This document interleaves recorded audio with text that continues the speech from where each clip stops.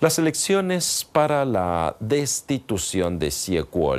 alcalde de la ciudad de Keelung en el norte de la región china de Taiwán, fracasaron el domingo ya que el número de votos a favor de la destitución de Xie fue inferior al de votos en contra en más de 16 mil votos, según la autoridad electoral local. Xie del partido Kuomintang de China o KMT, fue elegido alcalde de Keelung en 2022. Por su parte, el legislador del KMT, Wang Wei, saludó el resultado de la votación de destitución como el fin de una farsa política malintencionada. En palabras del profesor asociado de la Universidad de Cultura China de Taipei, Liu Xingren, si las destituciones por represalias se convierten en una herramienta de destrucción política en Taiwán, su sociedad se enfrentará a constantes luchas internas y nunca encontrará la estabilidad y la paz.